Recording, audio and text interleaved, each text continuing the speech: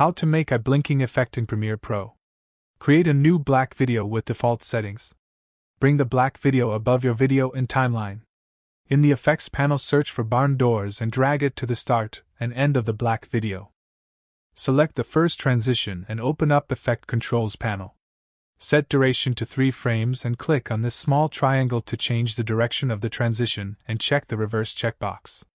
Select the second transition, set its duration to 3 frames, and change its direction. Now select the black video and press Ctrl plus R. Set duration to 8 frames and click OK. And now we have this effect. Right click on the black video and select Nest.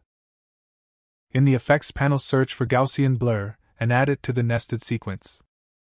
Set blurriness to 500 and blur dimensions to vertical.